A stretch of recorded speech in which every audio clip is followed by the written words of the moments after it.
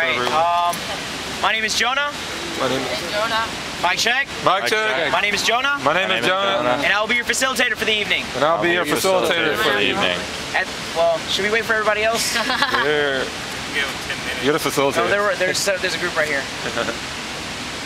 I say at this we- time we'll at this time It's time. Time. we'll be calling for volunteers We'll be calling for volunteers for assistance with uh, facilitation. for assistance with facilitation. Uh, first of all, we need a moderator. First of Moderator. Moderator. A moderator ensures that everyone in the process of facilitation is uh, remaining neutral. A moderator is responsible for making sure everybody's remaining neutral. That's the one that does Meaning that All right. Oh, I think he's he volunteer, or would you? do it? Are you Okay. moderator? All right. It's Moderator, what, what, what David, you're a moderator. What a moderator would do. I can do that. What would they do? Well, she, this is our first meeting, so. Yeah, yeah, we're what gonna- would they do? David. What you're would they do? What's the a moderator? A moderator basically just uh, they watch out, you know, see if anybody needs to be called on, or they um, if something is kind of uh, is going astray or whatever, and they're basically like, or if they see that somebody's biased, you know, if, if one of us are biased up here, then they'd be like, hey, you know, I think you're you're being biased, you know, we need to like kind of watch how we're doing stuff, et cetera, et cetera. Um, so are you appointing yourself as moderator? I'm going to do it. How do Okay. do it? We need a stack I taker. like that word. A stack taker writes down the, the person's names and to be called on. I can do Uh, that. usually in a progressive order, so that way the people that speak the least get to go the first. Uh, so you need a notebook and paper. And At all times, I will, I will actually probably have one now in my time. So get it? Yes, you have to All right. We also need a minute taker. A minute taker records the information that is transgressed in the General Assembly so that it can be uh, documented and used in the future. And our request that, we request that the minutes be posted to the internet within, what is it? Uh, How many, what time? If we, preferably somebody that can type it so that way we can post to the internet easily. Does anybody have a computer or would at least like to take notes? Does, does this have a Facebook or something? Like You taking notes? Thank you so much. What's your name again? Justin. Justin, thank you, Justin. Yes, sir. Excellent. Um, we could also use a vibe checker. A vibe checker is somebody that basically watches to make sure that we are moving forward in a, in a path. That we're not like all fighting each other, but more so that we are looking to a sense of consensus. No, you're moderating. Moderating is making sure that those on facilitation are, you know, are remaining neutral. I thought the two were the same. No. No. No, not at all. All right, Kaylin's vibe checking. And we have two. yes, absolutely. We can have Michael. Michael is vibe checking as well. Thank you, Michael and Kaylin. I like to read mine. Dude, she's, this is our first meeting, so you're gonna you're gonna be moderator if that's I okay. would with kind of do it if we have some, if we have, uh, I'll be moderator. I'll step down if I'm making non-violent comments, violent comments, or unbiased. I promise. So. So Softy's gonna be moderating for us, making sure that those on facilitation are non-biased. Um, at this time, because we have a few new people, we're gonna go over our hand signals. Uh, we use hand signals so that way not everybody's uh, talking over each other, and you know we got chaos going on, et cetera, et cetera, or clapping, or whatever ways we show approval or disapproval. Uh, to show approval, twinkle up. Twinkling up shows that you're, you know, you're excited, you're cool, that's great. Twinkling down, also known as squidding, shows disapproval. If you disagree with something, this is one way of showing it. Uh, if you're kind of in the middle about it, you can, you know, whatever, it's cool, you know, kind of so-so, whatever, you know, in the middle. Um, if you can't hear somebody and you need for them to speak up, you throw up an L shape. L shape would be louder. At that point, the facilitator, usually I or a moderator, would call for a mic check so that the person, everyone can hear them. Um, yeah, exactly. You know, um, and for those who don't know what a mic check is, mic check is when uh, everybody's gonna repeat exactly what you say, exactly how you say it. We do this that way we have a lot of sound, whatever. Huh? Anyways, um, what was I saying? Point of information. A point of information is a factual point. Is a uh, is something that is not opinion based, but that is something to clarify. Say, I say we're having a meeting at 5:30 in uh, in 60 Walton. Somebody says, wait. Point of information: the meeting was changed to uh, to 6:30 at 60 Walton. Uh, a point of information does not take precedence over the speaker. It is only called upon when the facilitator calls upon that person. The same is such for a clarifying question. A clarifying question is when you have a factual uh, piece of information, or you're looking for a factual piece of information. Again, not seeking for uh, to express your opinion, but just trying to find out what exactly a person is saying. An example of a clarifying question would be like, "Hey, wait, I didn't hear. Uh, can you repeat the proposal?" Or, um, you know, "Did you say it was at this place or this place?" Or something along those lines in general. Hey, is your proposal Point of process. today in writing? A point of process means that I'm not doing my job. or it basically means that uh, that the well, the conversation is basically straying from the direction that it's supposed to be going. If we're on proposals and somebody goes in with an announcement about this and that or whatever else, that may be considered a point of there in process. We're trying to stick to what's going on. If someone's going off a stack, etc., etc., you may point of process them. Be careful with the point of process though, because the point of process basically takes away someone's voice. Uh, it's only to be used in emergency situations, so let's not abuse it.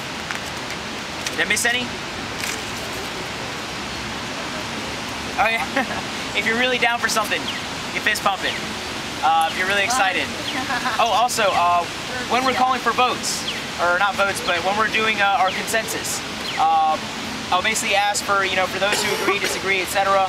Uh, but more so, those who stand aside.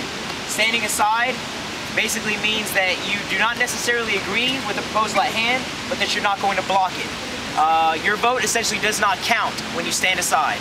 Uh, if you choose to block something, blocking again is kind of an emergency situation. It says that you're so against what is happening here that you're willing to leave the group because of it. Or that you feel that the proposal at hand does not, still does not, uh, meet the needs or concerns of those that are that are being addressed within the proposal. Um, again, a very serious matter. Here in Atlanta, we operate a 90% consensus model, uh, which is kind of cheating a little bit, but you know, but it does help us get stuff done.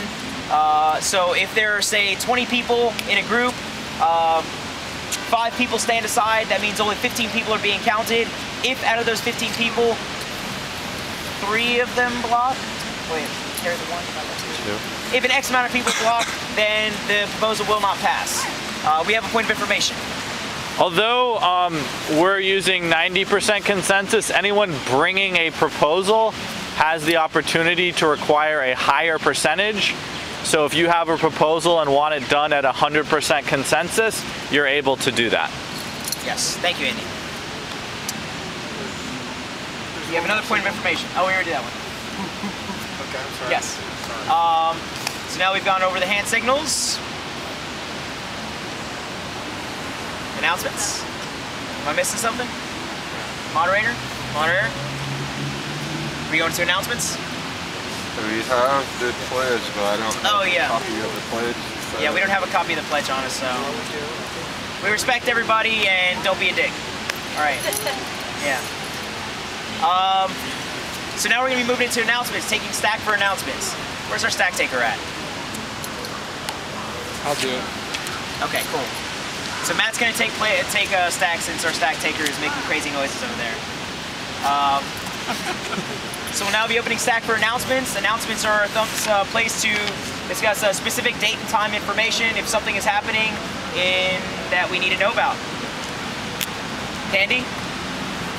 Madian? Donald? Yes. Is that Donald? I haven't announced. Hold on, not yet. We're gonna go through. Uh, we're gonna go Oh. through stack first, and then we'll we'll get to you. Got it. Um, is there anyone else that needs to be placed on stack for announcements? Then at this time we'll be closing stack for announcements. Stack is closed for announcements. Uh, the stack is Candy, Amadian, and Donald. Candy. Okay. Do I need a mic check? Can anybody hear me? Yes? We can hear. Okay. Huh? okay, Friday at 1 o'clock is the really, really big, really big free Christmas market. so I need for people to donate anything. Uh, donate your skills, your time, whatever you feel would bring awesome stuff to the free market. Um, if, also, if anyone can provide rides for people, that would be awesome too because we have a bunch of stuff and not a lot of cars. So From where to where? Uh, it's in Troy Davis Park. No, but like where? Rides. Whatever, I don't, I'm not sure yet. I mean, I know I'll probably need some from PC and Line for stuff, but um, I'm not sure if people need rides from the house. So that's it. So is it here? Yes. We have a clarifying question. If it starts at 1, do you know how long it's going to go for? Probably all day.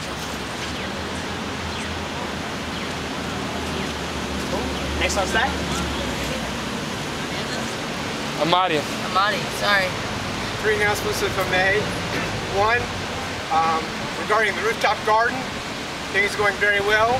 Uh, we're having meetings to, uh, Tuesdays at uh, 2 in the afternoon or 3 in the afternoon, and Friday 2 in the afternoon, and Friday mornings at 10 o'clock.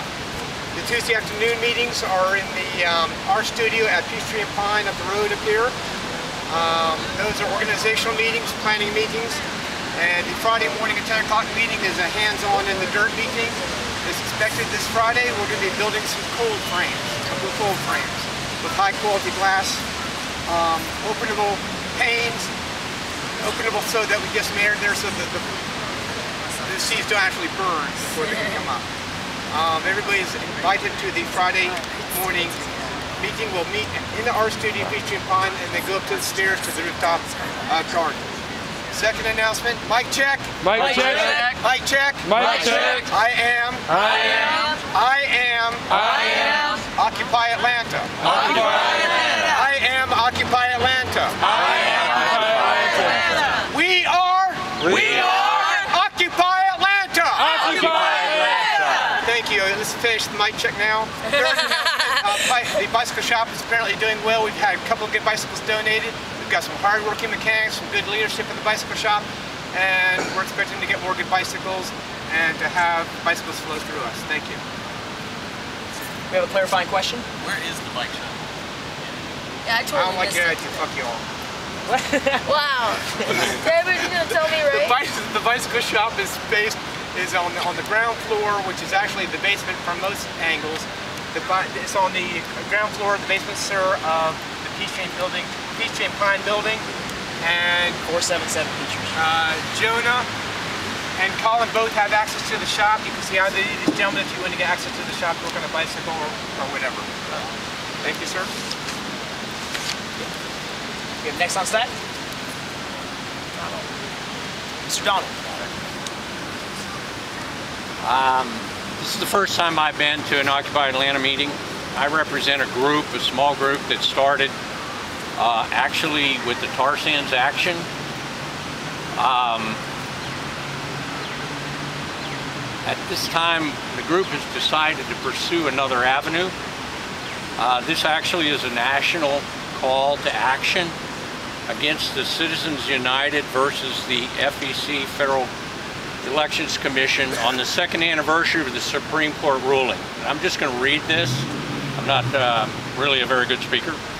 Supreme Court's ruling in Citizens United versus FEC has focused America's attention on the dangerous influence of corporate power in our democracy and the urgency of taking all necessary measures to undo that influence, including amending the Constitution. Generations of Americans have amended the Constitution over the years to enable that we the people means all the people, not just the privileged few. The Citizens United case, which opened the floodgates to unlimited corporate spending to influence elections at all levels of government, has brought home the importance of amending the Constitution to ensure that we the people does not mean we the corporations. We believe that America works best when our government is of, by, and for the people. Although we have different differences in scope and tactics, all of us are united in the understanding that the court's decision You're on in um, legal United Citizens must be remedied by Um, amending the Do you Constitution know what happened with Ron in in order today? to restore the democracy as promised I'm of hoping we can report on that, but I don't Join know if anyone on here a would know. national day of action on Saturday, January 21st, to demonstrate the growing demand to amend the Constitution to rein in corporate power and to take action against the Citizens United ruling. Our group has decided that we will have a protest action in front of the Bank America building in Midtown on the 21st, which is the anniversary, second anniversary of the ruling. Um, we would invite everyone from this movement to participate with us to get as much attention as we can to this. I believe, and this is still forming, I believe that this is taking place all over America in a lot of other cities. We're doing the very same thing that we are doing here tonight to really cut the heart out of the dragon. Most of the problems that we face today that you are out here objecting to, that I deal with every day because I'm an environmentalist, are caused because corporations can now contribute as much money as they would like to corporate to political campaigns throughout our government. And that influence, I think, is being felt today if you look today at the nonsense that's going on in Washington. So I implore you to please, I don't know the process, but to take this under serious consideration um, because I think it's probably the most important thing that we can do to uh, change the way that our democracy is operating today. You have a clarifying question? Oh, okay. Well, you have a clarifying question, David? Thank you, sir. Um, thank you very much, sir. Um, might you be interested in meeting with our Actions Committee, um, seeing what they may have work on, working on this and maybe coordinating with them to present something to Occupy Atlanta? Yes, absolutely. There's a gentleman standing next to you who's, who's one of the On Action both Committee. sides of you, actually. Yeah, you know. Oh, good. Do you All have right. extras in those? Yes, I do. We have another clarifying question? Can you repeat the time and date that y'all have planned right now? Um, the date is certain. It's January 21st. The time is tentative, um, which would be uh, 10 o'clock. What's the name of your group? We don't have a name. Oh, okay. We just got started. We have a point of information? Yes. Just so you know, the Craftivist has some really cool designs for, specifically made for bank protests. You want really cool designs and things for bank protests, talk to Craftivists. Well, go ahead. Um, this has been called, and I give them, if they're borrowing your name, occupy the corporations. That's what it's being called at the national level. I haven't used that term because I feel that that's your term. Uh, but I do feel that this is that kind of effort that y'all are out here uh, to uh, to protest against. Thank you, Donald. Yes. Um, at this time, I'm going to request that we open up the circle so that everybody, that everybody can stand in a circle. Thank you, sir. Unless you're smoking, then you're cool. You know. Or not cool, but you know. you're fine where you're at. Um, now that we've gone through announcements, we're going to move into committee report backs. Uh, committees are smaller factions of the General Assembly that focus on specific tasks or working groups or et cetera, et cetera. Um, so this time we'll be opening up stack for committee report backs. Good Dab, Robert, Daniel. One more.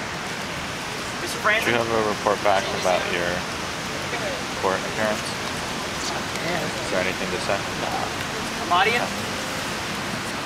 Oh, they got bound. What? Yeah, we got bound over to state court, so it's basically all showed up. They bound it over to state court. Yes. So, Justin is taking minutes right now. Is there anyone else that needs to be placed on stack for committee report backs? At this time, stack is closed. Stock is closed for committee report back. Uh, the list is Shav, Robert, Shanna, Tim, Lily, David. Uh, Shab, Can we add? Um, Ron, okay, Unclosed. So for Action Committee, we just had a uh, meeting to discuss kind of the future of Action Committee. Um, we changed up some of our process a little bit. Went really well. Um, we're gonna start having a meeting every Tuesday at six o'clock here in the park to um, it'll be the time that we discuss the act or decide on the actions that we are going to pursue. Um, so if you have an action that you want, that you think that Action Committee should take on, either come to that meeting or you can email us at action at occupyatlanta.org and we'll bring it up in that meeting. And we'll see if the committee decides to go with it. So, um, some actions that are planned coming up right now are um, we've got the Really Really Free Market is going on tomorrow. Friday. Friday. Friday. Um, and then there is on New Year's Eve, there's going to be a noise demonstration outside of the Atlanta City Detention Center. I think it's from 9.30 to 10.15. Um, January 3rd is the next foreclosure auction. Last month was a lot of fun and really successful. You can ask Ron about that. but um, we really want to make this month even better and bigger. Um, we're going to try to do at least four counties this month, which are Fulton, Gwinnett, DeKalb, and Cobb County. If you live in a county other than that and you think that you could get a group to go out in that county, please do. And if you need help with like making flyers or whatever else, just let us know. Um, definitely encourage people to do it wherever they are in Georgia, every single county. Um, that'll be from 10 to 4 on January 3rd.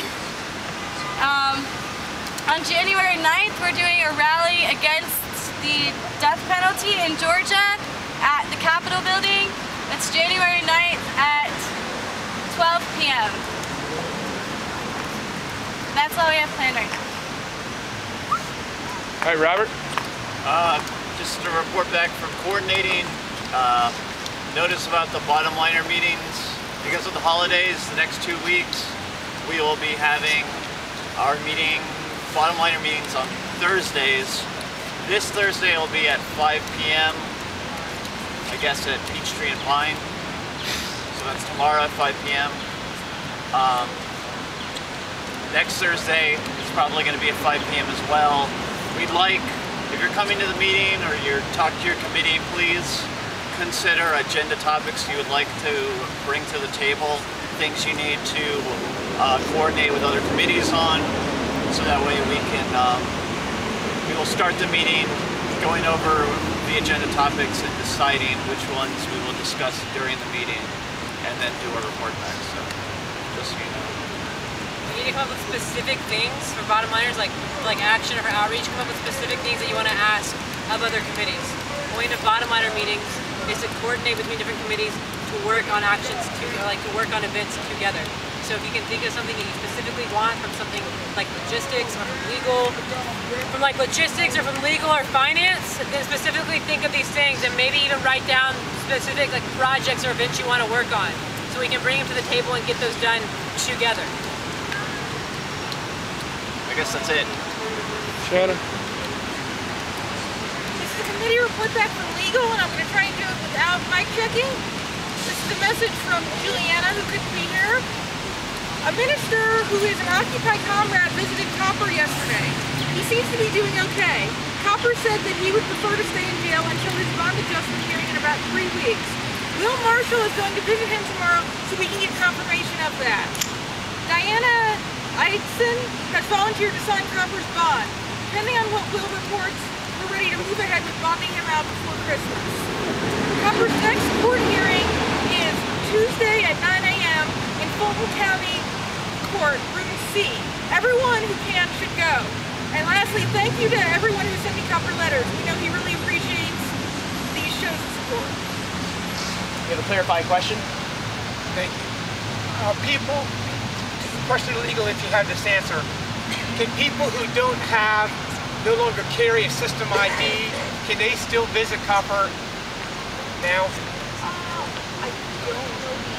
I believe the answer is no. Uh, but I, yeah, that's what I was. I have a, Somebody have we have point of information? Well, unless you have a, a state issue, uh, an ID, you can't you can't visit. and and you have to be on the visitation list. So he has Yeah. to put you on the visitation list to uh, just let let them know in a letter or have Will um, put you have have have Will put you tell tell Copper to put you on his visitation list, and then you can visit him with the ID. With ID. Thank you, sir. We have another point of information. The only two people on his uh, visitation list right now are Will Marshall and one other person. I don't know, so that's why you should see him. Next on stack. Tim. Hey everyone, uh, for those that, that everybody know about the Riverdale victory, right? You know about it. It is, uh, it is our single biggest media hit since Occupy Atlanta started.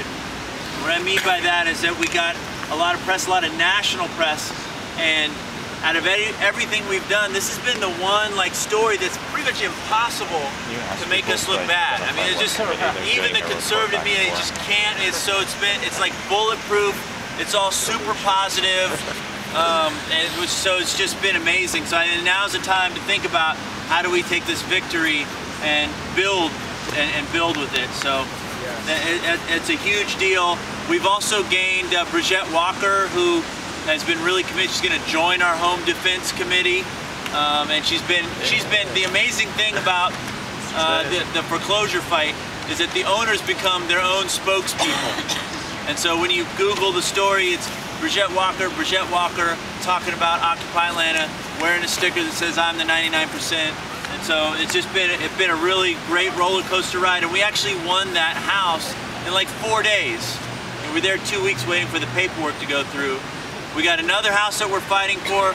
We met today with Senator Fort and the family, and we're kind of developing a strategy. It's a lot more complicated. I know there's been a lot of stuff that people are hearing about the house, oh, the church or all this money. We really looked it down and did a timeline. Uh, when it comes down, I just want to kill any rumors. It really isn't the church. It is a chain of some of the most fucked up predatory loans that even Senator Fort has seen. He said he hadn't seen anything like this since the early 90s. And so we're in the process of developing a narrative that's really easy for the general public to understand, real easy for us to understand because I know a lot of us have a hard time explaining what the hell is up with that situation. It is a winnable fight. And uh, we're getting a lot of folks within our movement now that are saying, hey, what do we tell people that are struggling? Because I hear folks on the street say, I need help. For now, uh, you know, if somebody really needs information, wants to ask questions, we need to be honest with them. We're still working on how to help folks. We don't have all the answers. We're not an institution, but the best email to send folks to is uh, action at occupyatlanta.org. You can give out uh, you know, my number or Shab's number or Graham or Lady, and we'll do the best we can, but let's not make any false promises at this point. The whole idea is to inspire other folks to be willing to stand up and fight for their house. So we meet tomorrow as a committee. We've also changed the name of our committee from foreclosure prevention to home defense. We wanted to encompass like renters and you know everybody is. We wanted to you know, basically just being about defending people's right to live in a sheltered spot, right? So we're meeting tomorrow, Homeland Security. we're meeting tomorrow at 5.30 at Glen Iris, and that meeting is going to be to develop what are our next steps, you know, what are the, you know, how are we going to identify other houses to take? So that's our report. We have one uh, clarifying question, but first, uh, I want to remind everybody that doing committee report backs, please announce your committee that you're involved in, so that way we have it for the record. Thank you, sir. Thank you, Tim. Um, I think you mentioned a more complex methodologies can be placed into use, possibly. Might, might this new complex uh, methodology for response to the foreclosure situations be be used in a, a non-VA related foreclosure for other people besides non-VA successes? Or did I misunderstand something? No, no, I think I misunderstood something. I'm sorry. I, I thought I thought system of closure was VA related and was using you, you used a methodology of resolution that was available to her on the basis of this having been a VA loan. No. It was not a VA Okay, loan. I'm sorry. Retract my question. Then I had. This is Chase Bank. Okay, not VA. We have another clarifying question. Yeah, to, mic check. Mic check. Is this committee? Is this committee A subcommittee? A subcommittee Or a committee?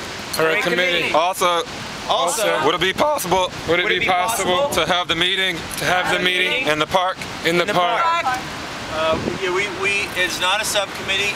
It's a GA-approved committee that was originally called uh, foreclosure prevention, but we decided that to encompass, just to encompass renters, we want to call it home uh, defense. And no, we absolutely see the Glen Iris occupation as a legitimate occupation, and it makes the most sense for the home defense committee to meet in that yard. So everybody from the park's invited out. Do you have another clarifying question. Will you be trying to arrange some kind of carpooling for people from the park to get to that house? I think that'd be a great initiative for somebody to try to work on, but uh, no, I mean, I have no, I'm not planning on doing that. If somebody, if you'd be willing to work on it, it'd be great. I was planning to be at the bottom liners meeting, so Oh, okay. it's at the same time. Are there people? We have a clarifying question. Thank you. Tim, can you give everybody directions to Glen Iris? Absolutely, yeah. It's 404 Glen Iris. If you want specific directions, I'm happy to, to write a map out, or or you can call me. Uh, you can call Shab. Um, Or can, can somebody see you after? Yeah. see me after GA. Absolutely, the, the Glen Iris like address is all over the internet. It's all over our website, 404 Glen Iris. So yeah, Yes, sir. I- and it's it's an occupation that's been ongoing for two weeks, just as legitimate as any other occupation. Yes. It is We walkable. Have, sorry, we had a clarifying question as well. Boulevard. Did you have a Shab Well, or a point of information? before any effort, is there anyone that would be looking for a ride? You're saying you're not going. Yes, you're going. Raise your hand if you would be looking for a ride. And my other brothers and sisters in the park, if this is a legitimate occupation, so. I'll try to see. We have a point of information. Um, if you need one, uh, if you want to meet at the park, I'll come by and I'll pick whoever who like whoever up. Um, I'll be by. I will come by the park at five o'clock, and I do mean five o'clock, not occupy five o'clock. I mean literally five o'clock. And uh, if you're here, I will give you a ride. I have legally I have four spots open for my car. Legally I have a lot more. So if you can pile in, you don't mind close spaces, I can get you there. Okay, Thank you, Lily. We have one more point of information. If anybody's interested on the appointed day and time, so, I mean, I can I can walk with you. There's a nice gentle walk from here. I'd be more than happy to walk in a small crowd. Very very nice walk from, from here to Glen Iris. See me uh, after GA, please, if you're interested. All right. You next on stack. Lily? Okay.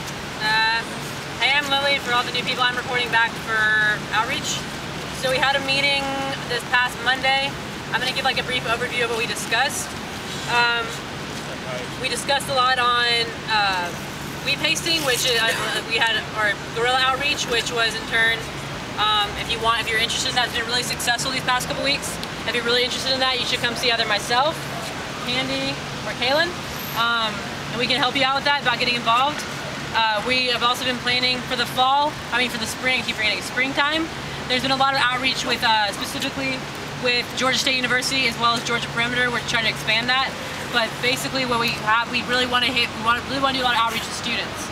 Um, students, we, we have Georgia State right there. That's 30,000 people to tap into, so if not a little bit more. And uh, what happens is um, with the heads of the department, we'll be reaching out with them to actually do, uh, they're going to do mass emails to people in their department to see if we can set up speaking uh, schedules with different students, which has actually been successful with the past two speaking arrangements. I believe we have a list of 100 interested, 100 interested students from that. Nadine has set up a community service, um, a creative form for people to use for community service for students to actually dock hours. We're trying to figure out which MPO. We have two MPOs in the works in this, one under finance, one under arts and lit. We're trying to get that finalized during the break so that we can have that to give to students come springtime.